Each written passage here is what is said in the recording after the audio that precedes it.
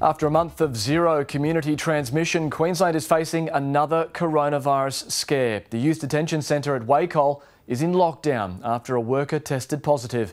The woman in her 70s who lives in Bundamba at Ipswich went to work while sick for at least five shifts, prompting urgent testing of hundreds of teenagers in detention as well as staff. Lexy Hamilton Smith reports.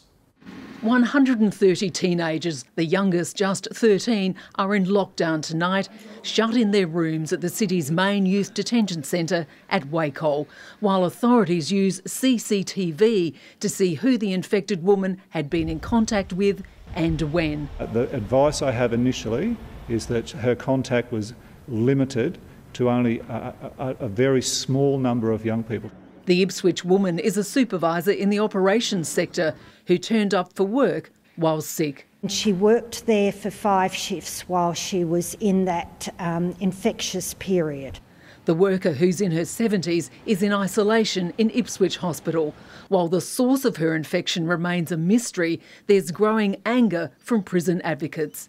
But now that COVID is positive in the prison, um, you know, it's actually quite terrifying for us all. Debbie Kilroy from Sisters Inside, who has battled COVID 19 herself, says the lockdown teenagers will be feeling frightened. A prison would be like one of those cruises, like the Ruby Princess, that it will spread very quickly, very rapidly. Mass testing is underway of more than 600 staff and detainees.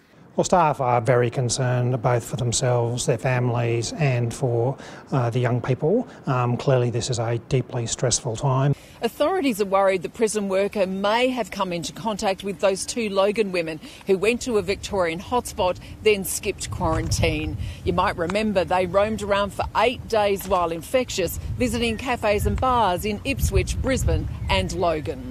Authorities are scrambling to track down all possible contacts in the hope they can rule that link out. In the second scare, this cafe at Greenslopes is shut down after a woman tested positive to the virus.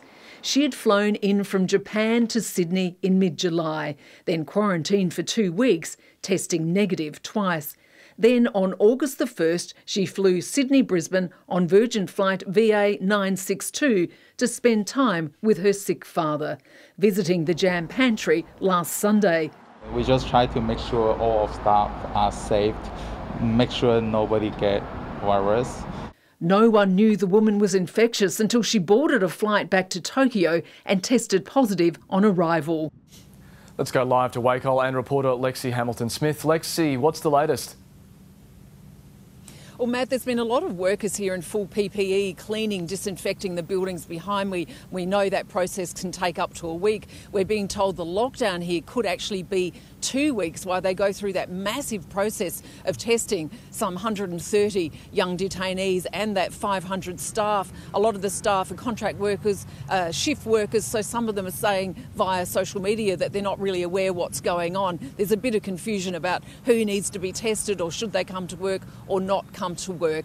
Queensland Health too has only just released an updated statement where they've now made it clear that the woman who has COVID didn't travel overseas or interstate. So the source of her infection is still a mystery, but we do know now that they are looking at a potential link to those Logan women and possibly someone inside, one of the young detainees that maybe they had crossed paths or met before that person was put uh, into this detention centre.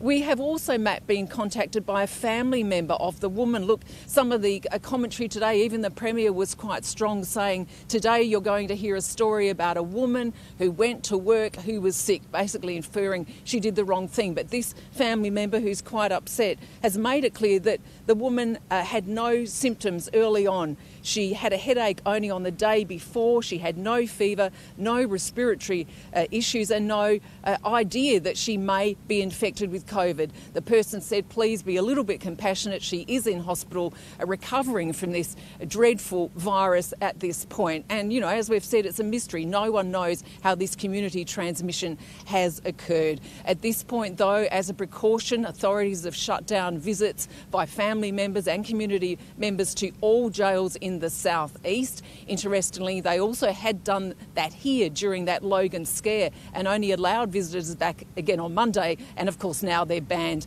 again. But look, authorities at this point are urging anyone in this area, if they're feeling sick, to get tested. They've ramped up the fever clinics clinics at the Ipswich Hospital. They'll run now between 9am and 8pm. So anyone who's feeling sick, go and get tested. And as far finally as the Japanese case goes, Matt, we have no confirmation of negative or positive outcomes yet for those six people who are in quarantine. So certainly, Matt, tonight Queensland is fighting COVID on two fronts. All right, Lexy, thank you. Lexy Hamilton Smith at Wacol.